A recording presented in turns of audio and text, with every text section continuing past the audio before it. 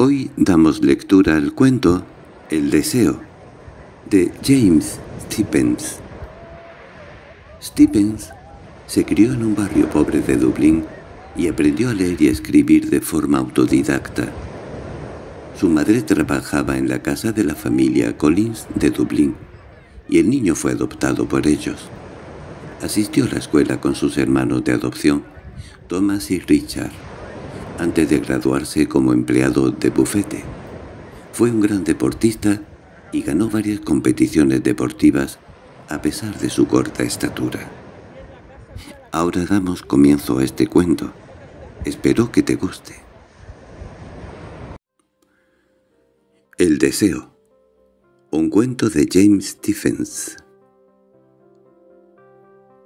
Estaba excitado y al inclinarse hacia adelante en su sillón para contar esta historia a su esposa, reveló un extremo de credulidad del que ella nunca le hubiera creído capaz. Era un hombre juicioso y habitualmente dirigía sus asuntos con perspicacia. Tanto en el noviazgo como su vida matrimonial y doméstica habían seguido una línea que ella no habría llamado atrevida o romántica. Por este motivo, aquella extraña historia y aquel estado de excitación la dejaron desconcertada. Decidió transigir con él, no porque se mostrara razonable, sino simplemente a causa de su excitación y porque toda mujer verá con agrado cualquier cosa que varíe la insulsa rutina cotidiana. Esta es la historia que él contó. Cuando se dirigía a comer, un automóvil surgió a velocidad excesivamente peligrosa para la estrecha y congestionada calle. Justamente al llegar el coche, un hombre que le precedía se dispuso a cruzar la calzada. Ni siquiera miró a su espalda salir de la acera. Extendió un brazo veloz, que arrastró al hombre de nuevo a la acera un segundo antes de que el coche, tocando la bocina todo gas, pasase ante ellos. De no haber estado ahí, observó el marido, que gustaba de las expresiones castizas, buena la habría hecho.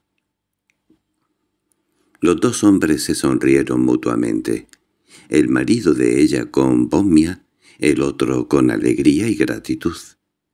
Descendieron la calle y, en atención a esa aventura, comieron juntos. Permanecieron sentados largo tiempo después de la comida, trabando conocimiento el uno del otro fumando innumerables cigarrillos empeñados en una conversación que ella nunca habría creído posible en su marido más allá de diez minutos. Al separarse, el marido de ella expresó el deseo de que se encontraran de nuevo al día siguiente, a lo que el hombre respondió con una muda sonrisa. No había ratificado ni negado el convenio. «Espero que se dejará ver», dijo el marido de ella. Aquella conversación había excitado a su marido, arrastrado a una atmósfera extraña, en la que se había encontrado tan a gusto que deseaba repetir la experiencia lo más pronto posible. Según explicó, la conversación tuvo un tono casi religioso. Fue completamente intelectual pero resultaba más impetuosa y estimulante que la religión emocional en la cual había sido educado y de la que se apartó silenciosamente.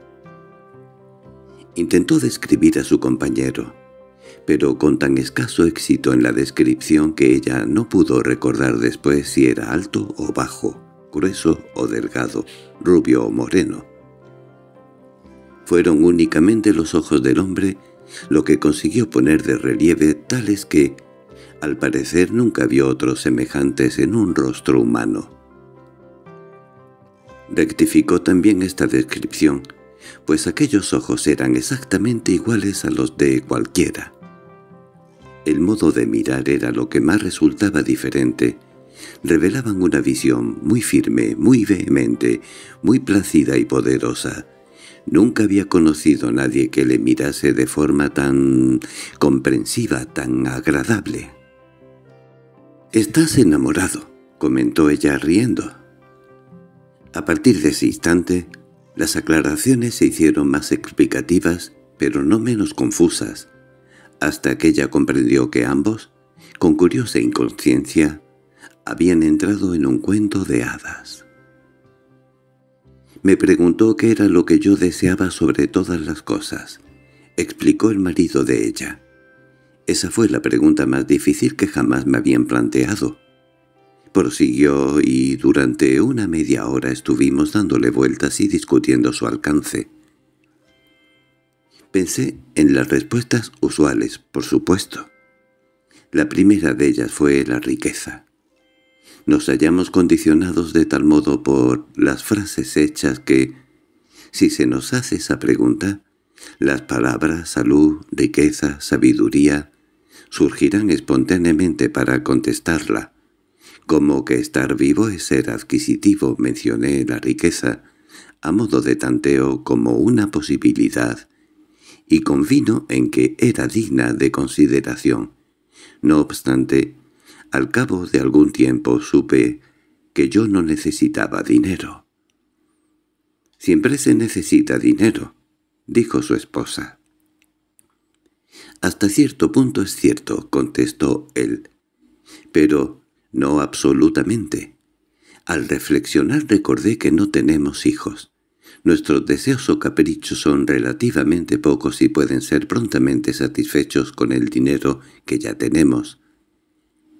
Disponemos de valores suficientes para vivir el resto de nuestros días, suponiendo que abandonase los negocios, cosa que no pienso hacer. En una palabra, descubrí que el dinero o su poder adquisitivo no tenía ninguna ventaja particular que ofrecer. «Lo mismo da», murmuró ella, y se detuvo con los ojos fijos en compras distantes en el tiempo y el espacio. «Lo mismo da», —asintió él con una sonrisa. No logré determinar nada que valiese la pena desear, continuó. Pasamos a considerar la salud y la sabiduría. A juzgar por las normas del mundo en que nos movemos me pareció que tanto mi salud como mi conocimiento eran tan buenos como los de cualquiera. Además, pensé que si elegía ser más sabio que mis contemporáneos, corría el riesgo de convertirme en una persona muy solitaria para el resto de mis días. —Sí —admitió ella pensativamente—, me alegro que no pidiese sabiduría, a menos que pudieras hacerlo para ambos. Por fin decidí pedirle consejos sobre el particular, pero contestó que no le era posible de ningún modo.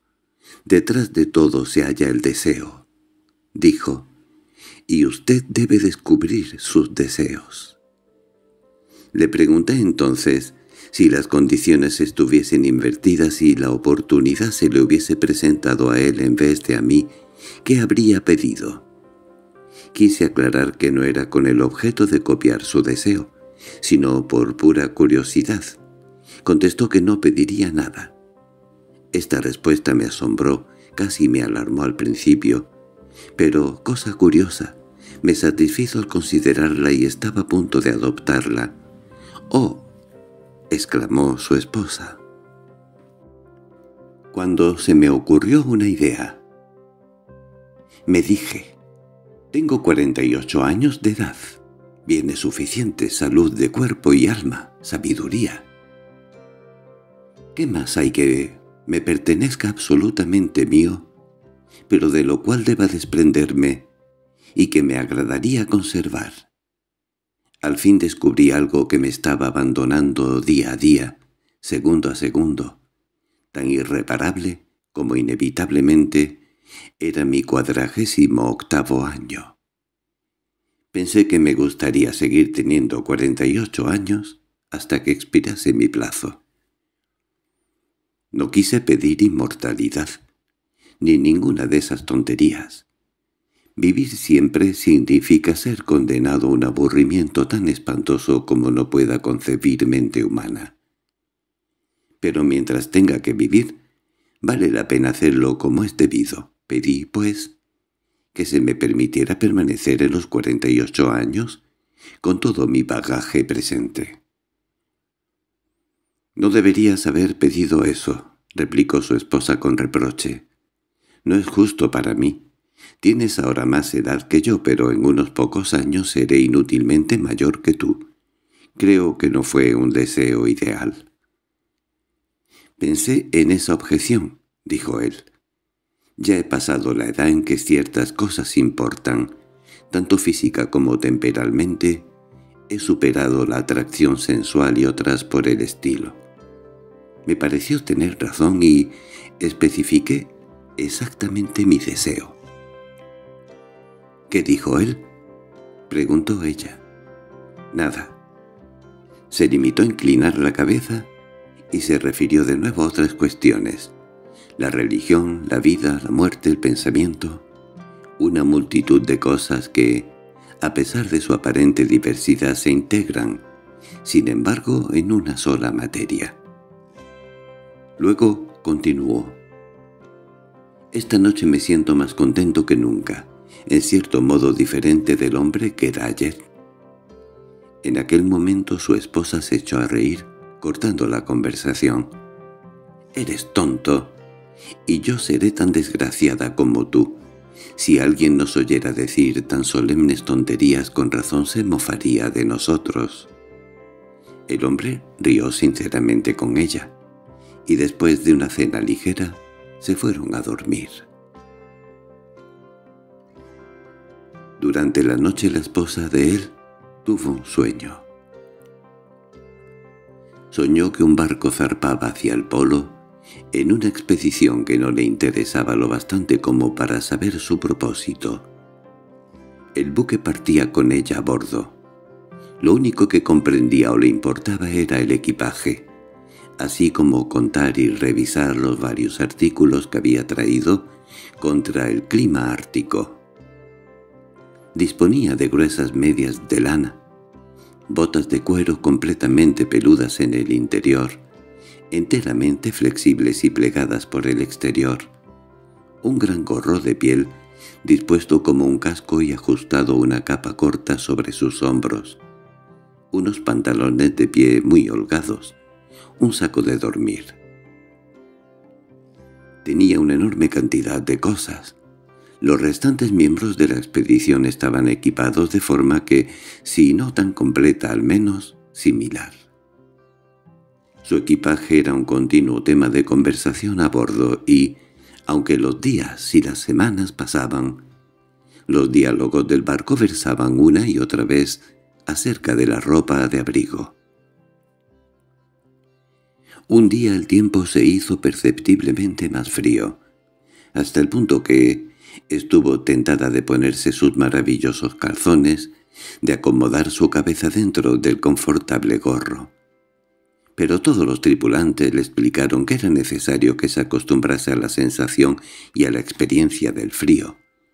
Le aseguraron, además, que el frío del que ahora se resentía no era nada al lado del clima glacial que tendría dentro de poco que soportar.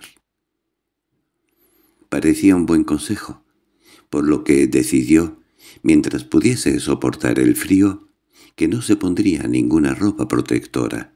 Así cuando el frío llegara a ser realmente intenso, estaría en cierta medida habituada a él, y no le afectaría tanto. Pero invariablemente día a día, el tiempo se hizo más frío. Navegaban ahora por turbulentos y arremolinados mares surcados por grandes icebergs verdes y blancos. En torno al barco, pequeñas colinas de hielo se movían espasmódicamente y rompían las olas, se hundían para surgir de nuevo, y el agua gris atravesaba aquellas pequeñas lomas y silbaba sobre su cima. Sus manos estaban tan frías que debía ponerlas debajo de sus axilas para conservar algún calor. Sus pies habían empezado a dolerle y estaba en peores condiciones. Decidió que al día siguiente se pondría el equipo de invierno, sin hacer caso de cuanto le dijeran para convencerla de lo contrario. «Hace suficiente frío», se decía, «para llevar mis pantalones árticos, para mis cálidas y suaves botas y mis grandes guantes adornados con pieles. Me los pondré por la mañana».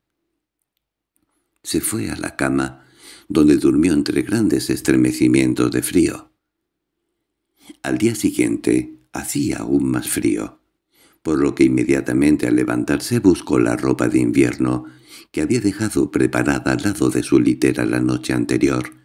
Sin embargo no logró encontrarla. Se vio obligada a vestirse con la de costumbre, que era más bien delgada, luego subió a cubierta. Cuando llegó arriba, descubrió que el mundo que la rodeaba había cambiado. El mar había desaparecido. A lo lejos se extendía una llanura uniforme de hielo, no blanca sino gris oscura, sobre la que se cernía un cielo también gris y desagradable. A través de aquella extensión soplaba un frío penetrante viento que golpeaba sus ojos y le hacía sentir hormigueos y punzadas. Ni un alma se veía por el barco, y el silencio absoluto que se cobijaba en el hielo tomaba casi un cuerpo sólido sobre la embarcación. No tardó en descubrir que todos los miembros de la tripulación habían desembarcado y la miraban fijamente desde corta distancia fuera del buque y aquellas personas eran tan silenciosas como el helado aire, como el helado barco. La contemplaban con fijeza sin hacer ningún movimiento, sin producir el menor ruido. Advirtió que todos ellos llevaban sus equipos de invierno.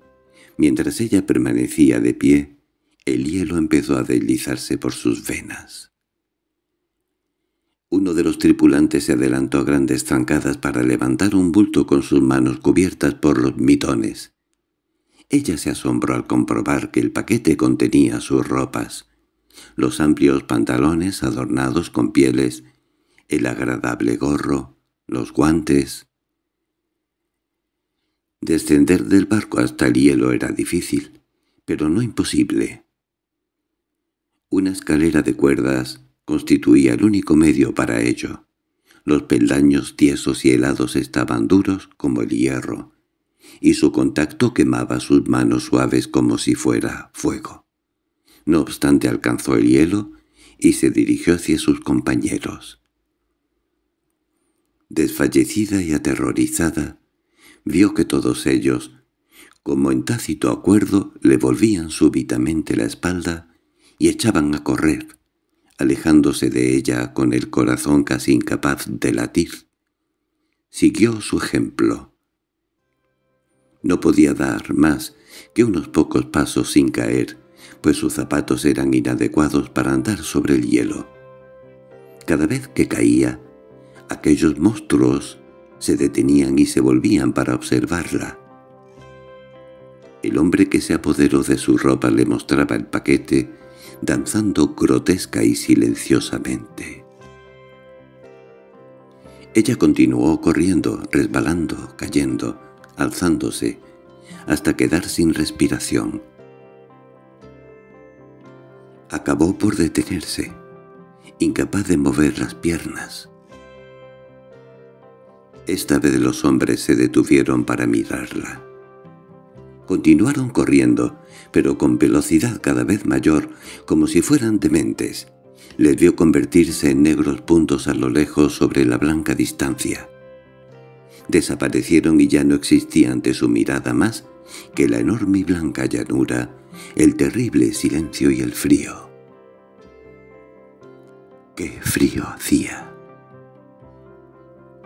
Y con él se levantó un silencioso viento penetrante como una navaja le pinchó el rostro.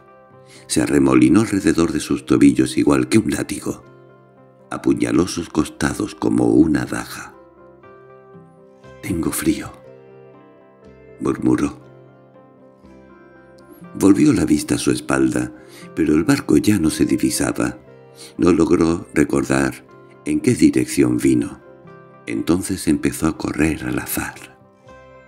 Corrió en todas direcciones para encontrar el barco, pero apenas había dado un centenar de pasos, pensaba frenéticamente que aquel no era el camino y seguía echada a correr en dirección opuesta.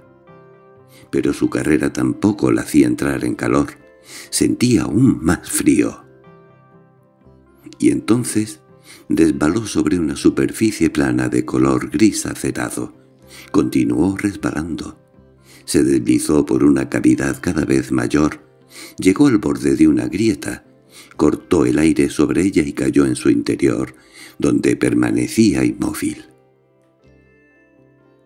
«Voy a dormir», pensó. «Me quedaré dormida aquí y moriré». En aquel momento se despertó. La ventana fue lo primero que se ofreció a su vista, donde el espectro del amanecer luchaba con el vampiro de las tinieblas. Un grisáceo fulgor enmarcaba la ventana, pero no podía intimidar a la oscuridad del interior. Permaneció durante un momento aterrada por aquella grotesca aventura y dio gracias a Dios que hubiese sido únicamente un sueño. Un segundo después sintió frío. Se arrebujó en las mantas y dijo a su esposo. —¡Qué frío! ¡Más espantoso! Se volvió en la cama y se arrimó a él en busca de calor, pero era de su cuerpo de donde venía el frío. Estaba helado. Saltó del lecho con un grito, encendió la luz y se inclinó sobre su esposo. Estaba como una piedra muerto, frío como la piedra, y quedó junto a él, temblorosa y sollozante.